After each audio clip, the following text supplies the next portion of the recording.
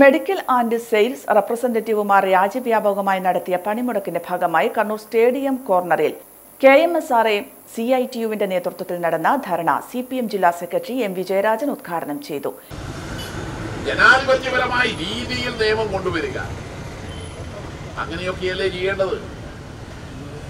S P act എന്ന് പറയുമ്പോൾ sales promotion employees act എന്ന് പറയുന്നത് ആരാണോ ആ ആക്ട് മൂലം ഗുണകാംക്ഷികളായി തീരുന്നത്. ആ ഏറ്റന്റെ പരിധിയിൽ വരുന്നവർ ആരാണോ? അവരെ കേൾക്കട്ടെ സെയിൽസ് പ്രൊമോഷൻ എംപ്ലോയീസ് ആക്ട് എന്ന് പറയുന്നത് മെഡിക്കൽ റെപ്രസെന്റേറ്റീവുമാരെ സംരക്ഷിക്കുന്നതിന് വേണ്ടി കൊണ്ടുവന്നതല്ലേ? അന്ന് കൊണ്ടുവരുന്ന സമയത്ത് ആയിരത്തി തൊള്ളായിരത്തി എഴുപത്തി ആറിൽ ആ നിയമം കൊണ്ടുവരുന്ന സമയത്ത് അതിന്റെ പ്രിയാമ്പിൾ അത് പറഞ്ഞല്ലോ. അതിന്റെ ആമുഖം. ഔഷധ മേഖലയിൽ തൊഴിലെടുക്കുന്ന മെഡിക്കൽ റെപ്രസെന്റേറ്റീവുമാരായ ജീവനക്കാരെ സംരക്ഷിക്കുന്നതിന് വേണ്ടിയാണ് ഈ നിയമം കൊണ്ടുവന്നത്.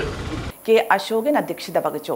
Kadan Balakrishnan E Surjith Kumar C S Jayan Shaju Varghese Harish Babu തുടങ്ങിയവർ സംസാരിച്ചു. ആയിരത്തി തൊള്ളായിരത്തി എഴുപത്തിയാറിലെ സെയിൽസ് പ്രൊമോഷൻ എംപ്ലോയീസ് നിയമം സംരക്ഷിക്കുക സെയിൽസ് റെപ്രസെന്റേറ്റീവുമാർക്ക് നേരെയുള്ള പീഡനങ്ങൾ അവസാനിപ്പിക്കുക തുടങ്ങിയ ആവശ്യങ്ങൾ ഉന്നയിച്ചാണ് പണിമുടക്കിയത്.